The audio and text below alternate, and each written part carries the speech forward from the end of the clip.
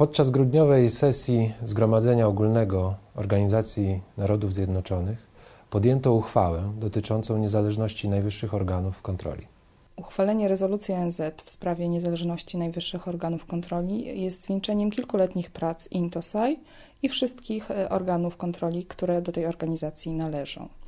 Decyzja o podjęciu konkretnych działań zmierzających do tego, aby niezależność organów dokonujących kontroli wydatków publicznych została e, wpisana w rezolucję ONZ-owską, została podjęta w listopadzie 2008 roku na posiedzeniu zarządu INTOSAI.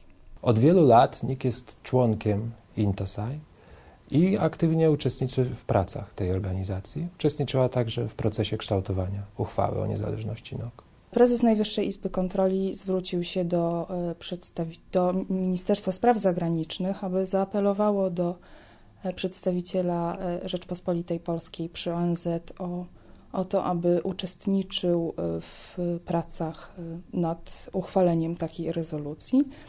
I rezolucja została ostatecznie przyjęta 22 grudnia zeszłego roku na posiedzeniu e, Zgromadzenia Ogólnego ONZ.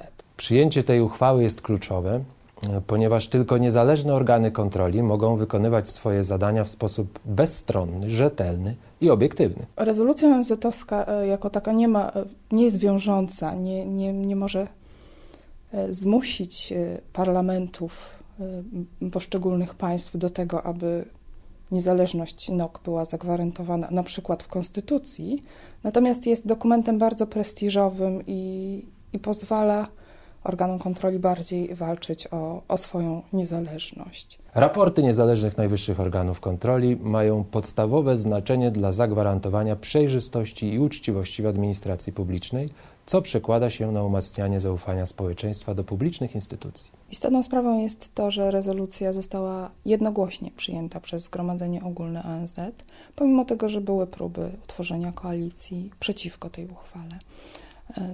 To bardzo dobrze, że tak się stało, gdyż niezależność e, organów kontroli środków publicznych jest bardzo ważnym elementem mechanizmów demokratycznych i dlatego tak e, istotne jest e, to, aby niezależne, autonomiczne i niezawisłe organy kontroli państwowej funkcjonowały we wszystkich państwach.